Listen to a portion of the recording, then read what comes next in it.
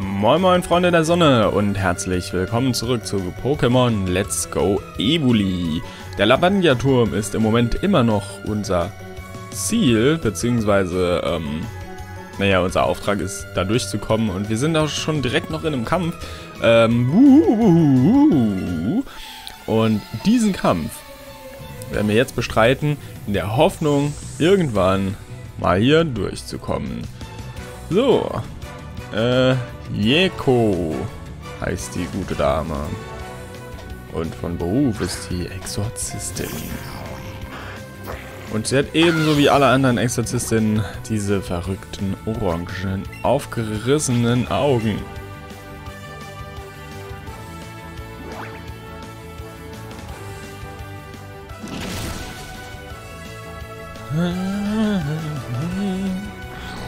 Ja, ich habe mir mittlerweile auch mal an den Joy-Con diese Halterung gemacht mit der Schlaufe. Ähm, war ich bisher nicht so der Fan von, muss ich tatsächlich sagen. Einfach, äh, weil ich zu faul war, das jedes Mal dran und, und wieder abzumachen. Ähm, und ich finde halt, dass diese Knöpfe an der Seite, die sind so total wackelig. Die, die klappern auch so komisch. Oh Gott, oh Gott. Schnell.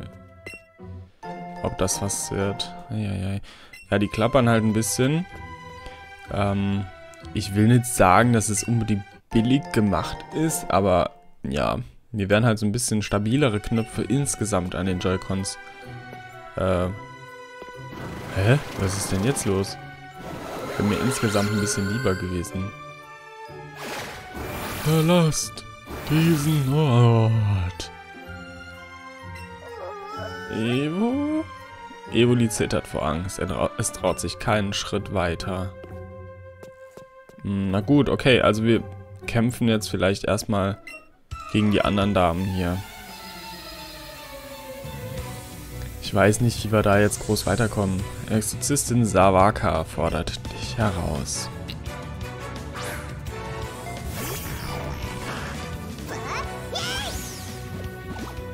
Ich weiß nicht, vielleicht müssen wir unser Evoli einfach nur aufmuntern.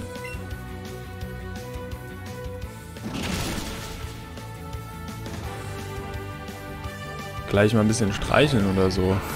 so mal gucken. Vielleicht hilft das ja schon. So. Erfahrungspunkte. Oh, 34 schon. Krass, das geht aber schnell. Ich bin doch eben erst 33 geworden.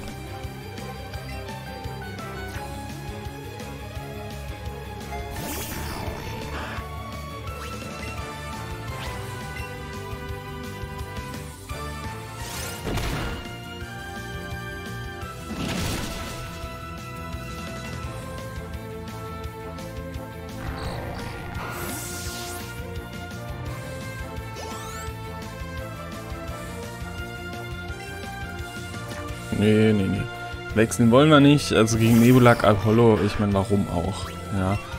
Wir sind hier gut aufgestellt, haben noch ausreichend Lebensenergie und ausreichend Kampfpunkte. Oh. Uhu.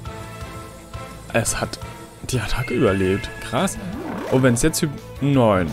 Ach, verdammt. Es ist eingeschlafen.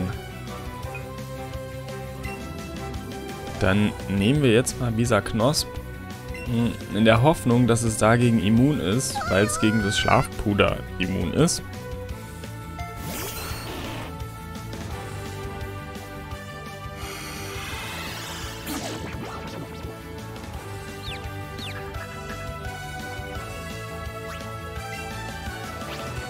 Hm. Aber es ist irgendwie nicht verwirrt, oder? Ach, aber dafür darf es zweimal angreifen. Wie mies. Ja, toll. Jetzt bringt mir natürlich der... Ist ja klar, jetzt bringt mir der Angriff natürlich auch nichts mehr. Wenn das pennt. Ähm... Nehmen wir Kadabra.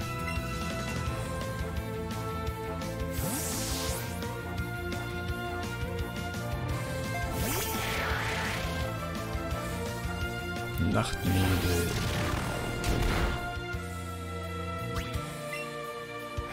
So, Psystrahl. Das dürfte reichen.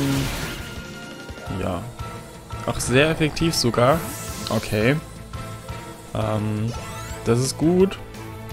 hatte ich doch richtig in Erinnerung, dass Psycho gegen Psycho schon recht effektiv ist. Ähm ich glaube, ich wechsle dann die Reihenfolge mal und packe Kadabra an den Anfang, um die restlichen... Hier, hi. Um die restlichen Kämpfe zu absolvieren. Exorzistin Marika fordert dich heraus.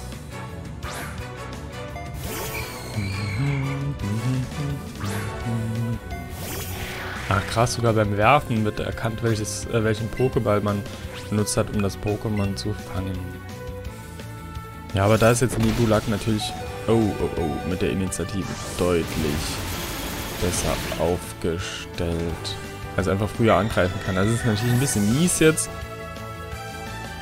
Aber, naja. Ich halt, weiß halt nicht, ob ich es jetzt riskieren soll. Ja, komm, wir kämpfen weiter. Zur Not gehen wir eine Etage oder eine Etage? Ich glaube eine Etage tiefer nochmal. Und heilen uns einfach nochmal. Dann dürften auch die Effekte alle weg sein. Ja, gut. Sehr schön. Sehr schön gemacht, Kadabra. Wunderbar.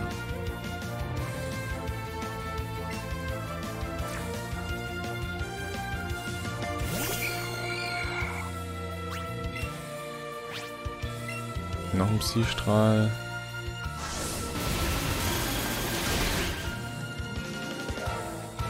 Ja, also ich nehme jetzt das Item, was da unten liegt. Guck mal, guck mich mal um.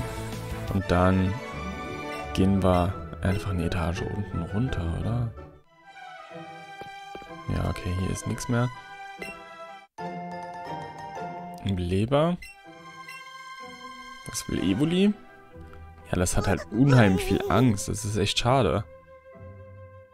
Ja. Brauchst nicht traurig sein. Brauchst keine Angst haben. Ich bin da. Wir sind ein gutes Team. Jetzt muss ich hoffen, dass sie es nicht bis... Ja, nicht bis hierhin schaffen. Gut. Ja, wir heilen uns gerade mal nochmal schnell hoch.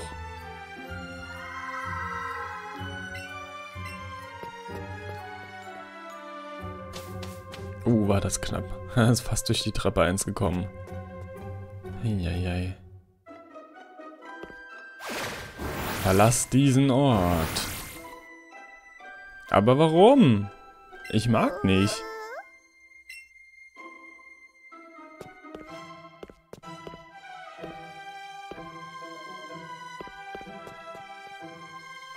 Na gut, okay, dann, dann gehen wir eben wieder.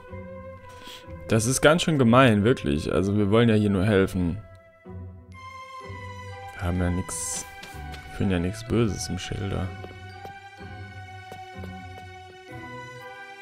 Auch wenn dieses Riesenvieh das leider anders sieht. Schade, schade. Ja, ich gehe jetzt ganz bewusst ähm, quasi zu Fuß runter. Und lass mich nicht von den Viechern rausporten. Ähm, ja. Ich habe gedacht, vielleicht kommt irgendwie noch was. Nee, auch hier draußen ist nix. Ehrlich? Das ist komisch. Ist das das Fuji? Oh. Oh mein Gott. Hallo Team Rocket. War ja klar, dass ihr wieder dahinter steckt. Da kommen wir auf äh, was, da kommen wir auf Befehl von Giovanni extra nach Lavandia und dann ist von diesem alten Knacker Fuji weit und breit keine Spur. Der einzige Ort, den wir noch nicht nachgesehen haben, ist die Spitze des Pokémon-Turms, oder? Genau, aber auch nur, weil es dieses seltsame Gespenst den Weg versperrt hat.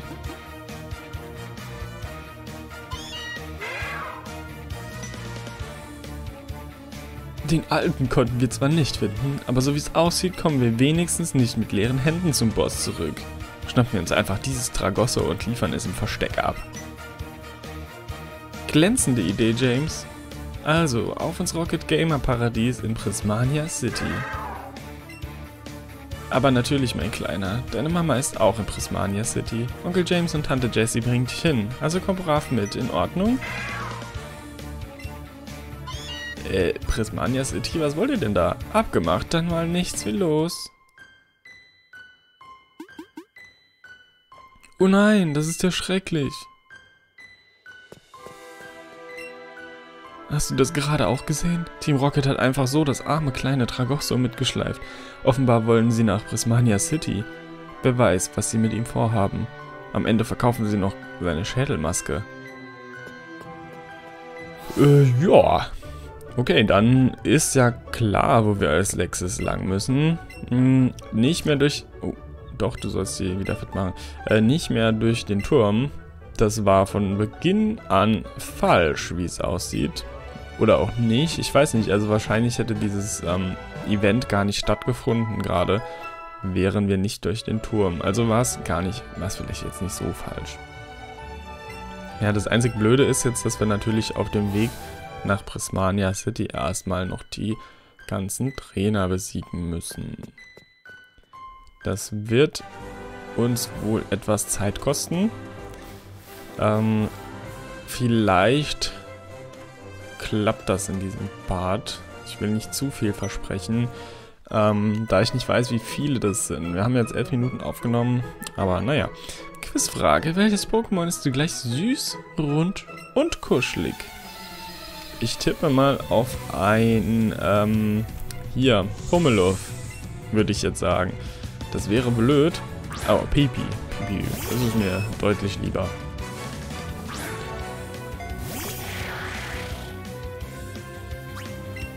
Ach ja, ich habe ja noch Kadabra als Starter.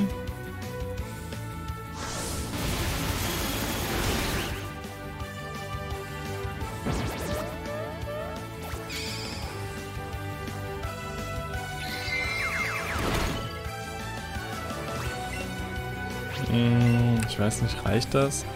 Ich glaube nicht. Wird wahrscheinlich ein Stückchen übrig. Ja, genau, wird ein Stückchen übrig bleiben.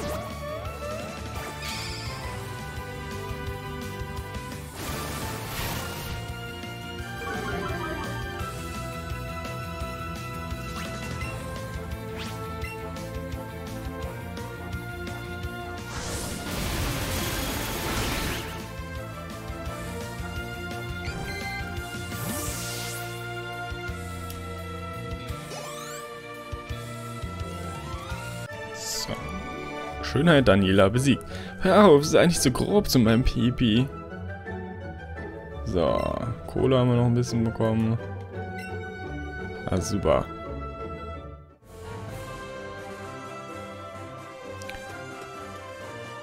Uh, da können wir was zerschneiden. Das machen wir doch gerade mal. Das ist wahrscheinlich hier eine Abkürzung, um ein paar Kämpfer zu umgehen.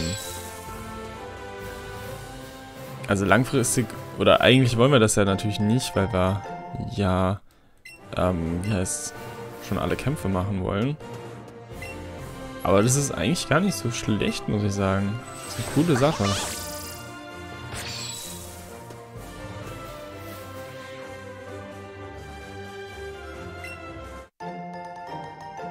X-Kapsel. Äh, nee, Quatsch, eine Kapsel X-Tempo. Ach, eine X-Kapsel-Tempo. Äh, du scheinst dich mit Pokémon auszukennen, aber wie steht es mit Naturwissenschaften?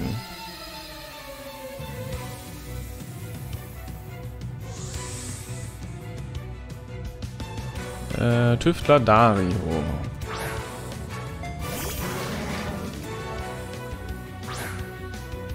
Luz Kadabra. Genau, mach hier mal Psych... Äh, nein. Okay, Teleport wollte ich jetzt gar nicht. Ja, hab ich zu spät reagiert. Hm.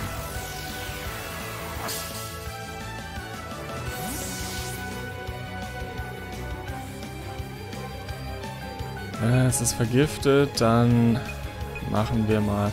Wir nehmen mal Evoli jetzt.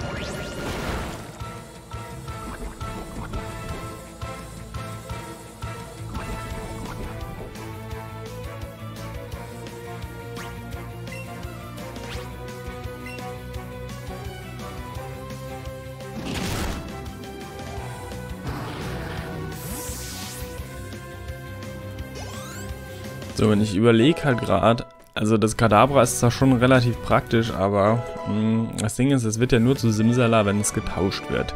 Jetzt ist natürlich die Frage, ob es nicht sinnvoller wäre, da eventuell ein anderes Pokémon mit äh, in die Auswahl zu nehmen, um, naja, um entsprechend meinen Pokédex zu vervollständigen. Äh, die Frage ist allerdings, wie sinnvoll ist das? Denn, naja, wenn wir nachher noch von, ähm, also später, nicht nachher, ja, wenn wir später irgendwann noch von Pokémon Go entsprechend die Pokémon mit transferieren, dann dürfte sich ja im Idealfall auch mein Pokédex wieder weiter füllen. Oh, Alter, Stufe 35, das ist schon übel. Ähm, das Evoli ist auch vergiftet. Ach, shit. Aber das brauchen wir jetzt. Ähm, dann dürfte sich das, wie heißt es, weiter, ähm, was wollte ich sagen, dürfte der sich weiter füllen und äh, wir haben mehr Pokémon zur Auswahl. Vielleicht wäre es da schlauer, mh, hm, dann ab diesem... Ah, oh Gott, oh Gott. Ja, das ist jetzt doof, ne? Ja, verdammt. Ähm, was wollte ich sagen? Ich kann mich nicht konzentrieren. Ähm...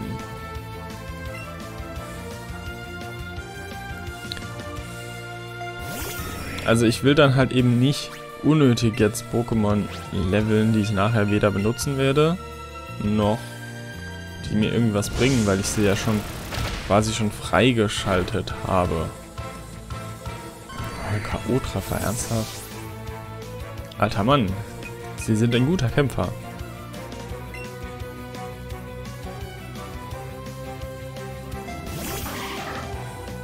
Ja, und dann gibt es natürlich da noch die Alola-Formen, hm, von denen ich jetzt zwei oder drei schon habe. Die will ich ja natürlich irgendwie auch leveln. Ja.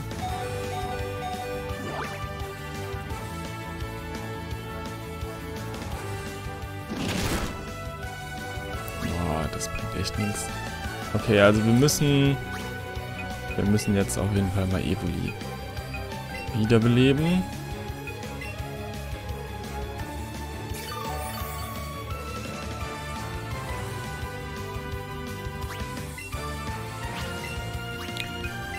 Nidorina.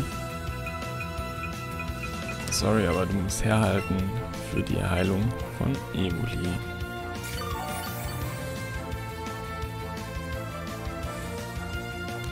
Oh, hat verfehlt, krass.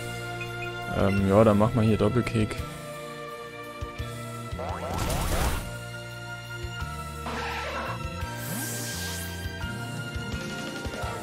Ja, ist gut, ey, Verzweifler fügt er sich wenigstens selbst noch Angriff äh, oder Schaden zu. Naja, hätte ich gewusst, dass er keine Angriffe mehr hat, dann hätte ich auch irgendwas anderes können jetzt wählen. Egal, mach mal Knisterladung, gut ist. Ach. Ja, Paralyse. Macht der E-Verzweifler und dann ist finito. Ciao.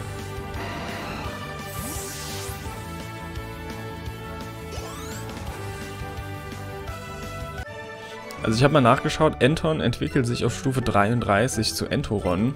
Das ist auf jeden Fall, also Entoron habe ich glaube ich damals auch schon immer in meinem Setup gehabt. Schauen wir mal. 24 ist es jetzt. Ja, das dauert auf jeden Fall noch ein bisschen. Ähm. Ach nee, da war... Haben wir gegen... Nee, gegen die haben wir noch nicht gekämpft. Hier gibt es jede Menge Pokémon zu fangen. Stör mich gefälligst nicht. Ist jetzt, äh, ist jetzt natürlich fraglich, ob das eine gute Idee war, direkt gegen die Ast-Trainerin Karin hier zu kämpfen, äh, die auch noch gleich zwei Pokémon dabei hat, äh, wovon eines ein Kadabra ist. Ähm, Kadabra gegen Kadabra. Mein Kadabra ist dummerweise aber vergiftet. Hm. Naja, wir versuchen es mal mit dem Psystrahl. Oh, okay. Sie Fängt mit Blitz an.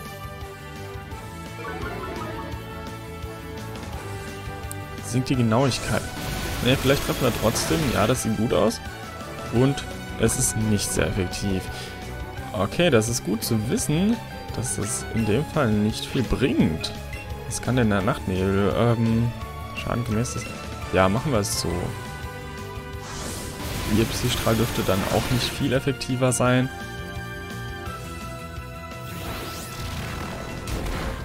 Ja, der Nachtnebel, der macht dann natürlich auch mehr Schaden, ist doch klar. So, jetzt weiß ich nur nicht, wenn sie zuerst angreift, ist mein Kadabra hin. Ähm, ja, okay, ist es auch.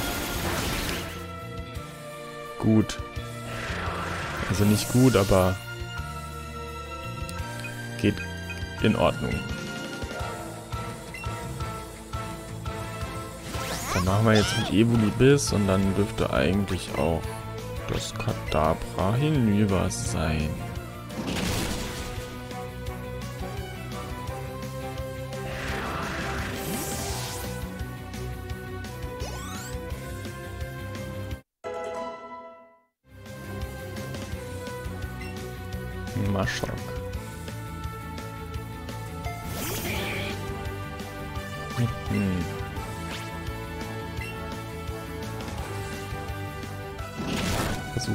Biss. Oh, das macht nicht viel aus. Über Roller.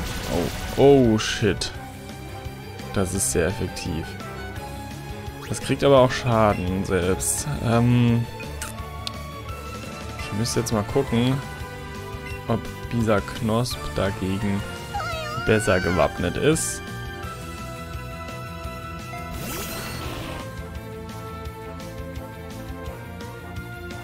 auf jeden Fall schon mal verfehlt. Hm, wir versuchen jetzt mal das Schlafpuder.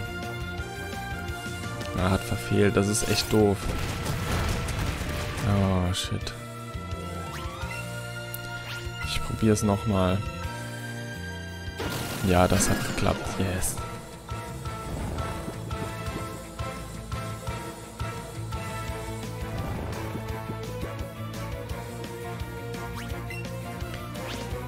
So, dann versuchen wir den Rankenhieb.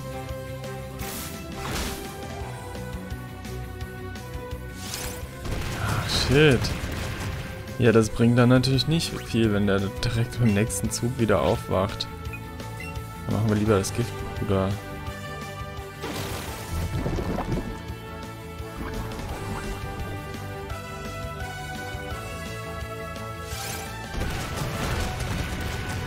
Gut, war klar, dass er jetzt verreckt.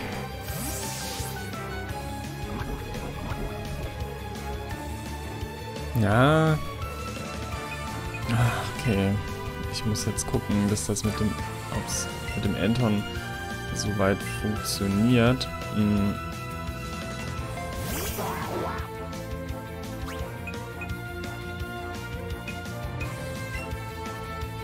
Also Fakt ist, wir müssen jetzt erstmal eine Heilung machen. Da nehmen wir Evoli, die anderen sind ja alle besiegt.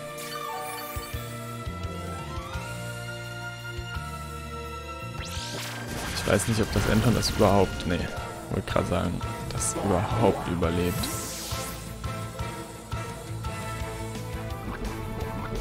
Der Rückstoß und das Gift in Kombination, das ist dann echt schon auch für das Maschok eine Herausforderung. Ähm, wir könnten jetzt noch versuchen, mit einem Biss das zu machen. Dann muss aber Evoli auch den nächsten Hit aushalten. Na, okay. Ist jetzt ein Risiko. Ne, gut. Es hat trotzdem geklappt. Sehr gut. Ja, geil. Fünf Hyperbälle. Das ist eine gute Sache. Äh, so, jetzt werden wir auf jeden Fall erstmal nochmal zurück ins... Ist da hinten noch irgendwas? Nee. Erstmal nochmal ins Poké-Center gehen. Oh, diese Musik dann auch. Schlimm. Ähm, müssen uns jetzt auf jeden Fall heilen lassen.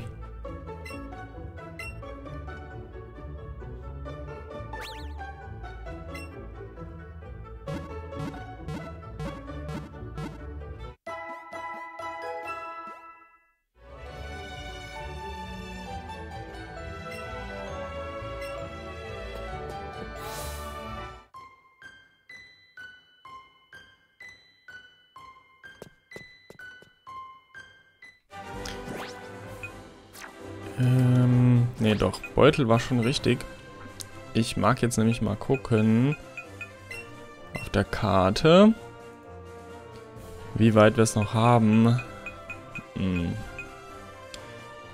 Da, Höhle. Wo ist das Ende nochmal gleich? Da ist der Felstunnel. Mondberg. Hä? Wann denn das andere Höhle, andere Ende von der Dicta-Höhle? Noch gleich. War das nicht hier irgendwo? Da so? Urania City, ja. Da müsste es doch gewesen sein. Irgendwie. Hm. Und da oben ist Azuria City. Das heißt, wenn wir von Prisman, äh, Safronia City direkt nach oben gehen, äh, könnten wir uns das Glumanda sowieso als nächstes schon schnappen. Ähm, ja. Aber da der letzte Part schon so lange war und ich jetzt nicht unbedingt, ähm, ja, auf dem Level bleiben will, dass die Parts so ewig lang sind, äh, mache ich an der Stelle doch ganz gern mal eine Pause. Äh, wir sehen uns in der nächsten Folge von Pokémon Let's Go. Ich hoffe, es hat euch gefallen. Falls ja, lasst mir gerne einen Daumen nach oben da. Ähm, ja, wir sehen uns. Also macht's gut. Bis dann. Ciao, ciao.